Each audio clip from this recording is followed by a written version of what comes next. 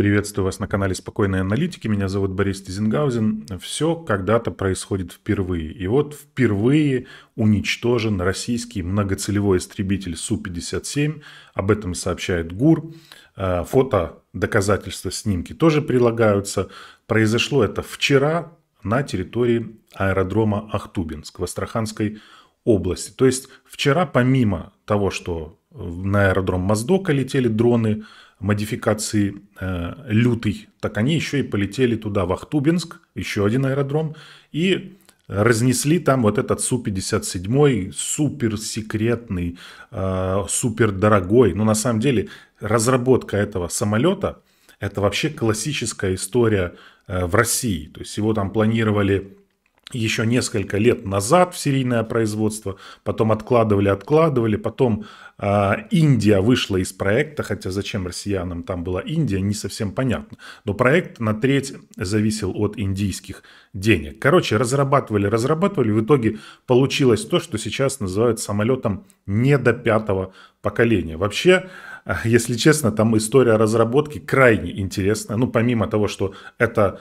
Эм, очень дорогой самолет. В России их всего 12 единиц. А, испытывали россияне его, в том числе в боевых условиях в Сирии. Немножко там полетали. Эксперты говорят, что этого в принципе недостаточно.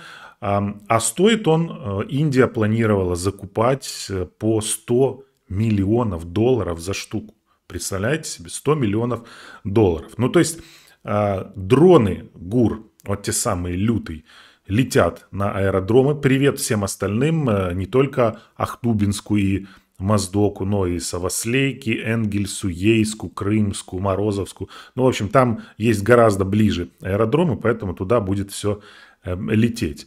Значит, э, что, почему, почему э, история разработки этого самолета классическая, вообще российская, российская история? Значит, Россия первый истребитель получила 25 декабря 2020 года. Вот этот вот э, истребитель. Э, но до этого, до этого они э, с Индией решили разрабатывать вот этот Су-57.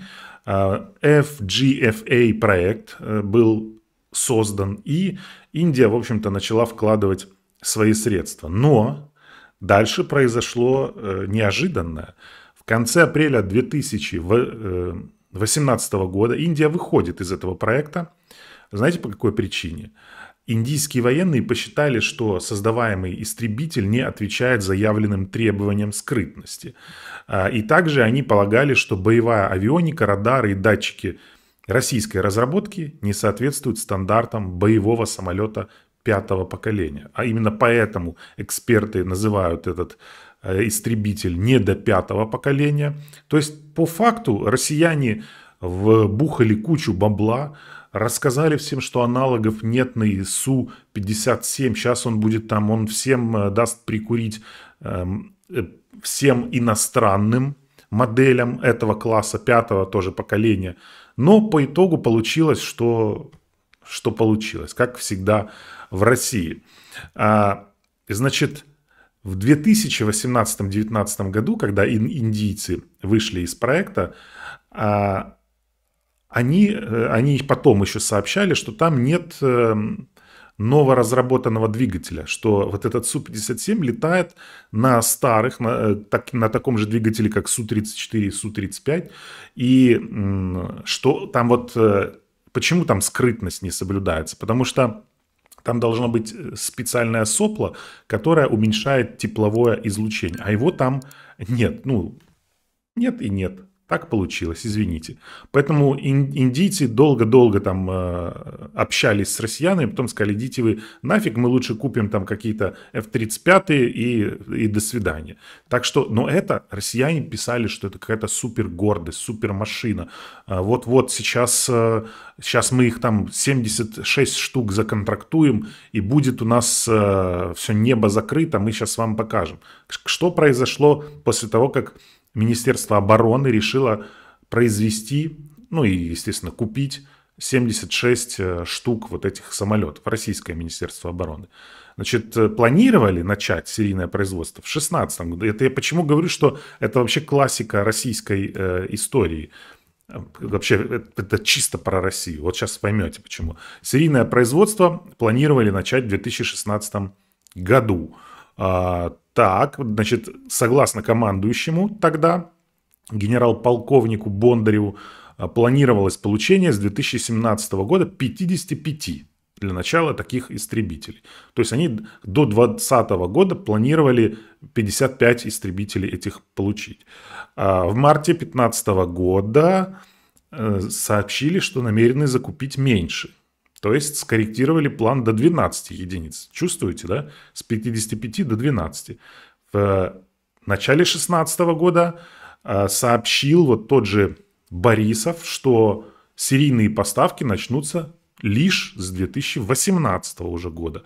И в конце 2018 Индия выходит из проекта, так как на треть проект от индийских денег зависел. А вообще э, не совсем понятно. Разработка секретная, сверхсекретная, супероружие. Вам зачем индийские деньги? У вас там что, денег нет в России, что ли?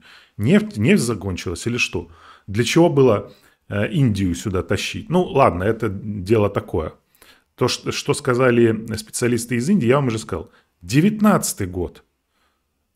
Истребитель Су-57, написано было в брошюрке там, что запущен в серийное производство. А в 2020 году эм, сообщили, что серийное производство сталкивается с проблемами. Угадайте, какими? Недостаток свободного места в цехе сборки самолета. Ну, в общем, все как всегда. 10 лет они мурыжили, сейчас запустим в серийное, сейчас будет столько самолетов, потом все меньше, меньше, меньше, меньше, меньше.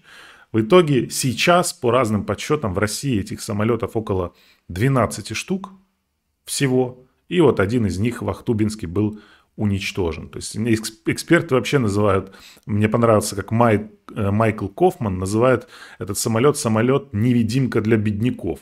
То есть он имеет в виду, что, ну не совсем для бедняков, он стоит э, сумасшедших денег, но он и не невидимка, и технологии там немножечко, это знаете, как вот Китай очень, очень э, часто внешне очень похожие модели автомобилей на какие-то немецкие марки делает, ну а стоят они там дешевле. А вот в России все наоборот. Они делают что-то очень похожее на истребитель пятого поколения, но он не до пятого поколения и стоит он сумасшедших денег.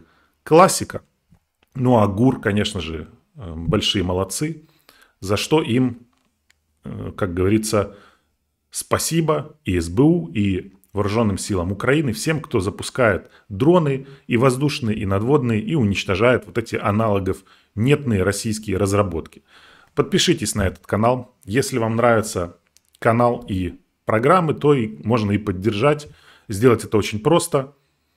В уголке QR-код, а в первом комментарии есть ссылочка, по которой вы можете э, ну, любую произвольную, какую, какую пожелаете, нужную сумму отправить на поддержку канала и команды, которая над ним работает.